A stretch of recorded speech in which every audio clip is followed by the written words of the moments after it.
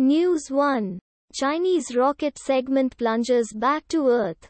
Crashes near Maldives. News 2. How good intentions but bad timing. Not securing stocks. Paved road to the shortage. News 3. Delhi. 65% traders want extension in lockdown that is set to end tomorrow. News 4. SC ropes in experts for National Task Force to overhaul allocation of O2 to states. News 5. Assam. Himanta may be CM. BJP may recall Sonowal to Delhi.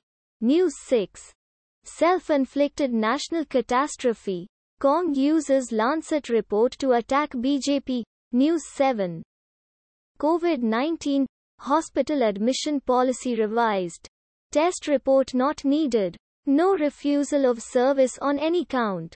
Here are key points. News 8. Lancet editorial slams Modi government for ignoring second wave warnings. News 9.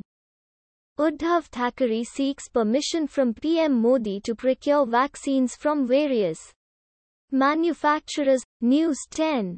INMAS develops anti-COVID therapeutic application of 2-deoxy-D-glucose drug, automatically generated.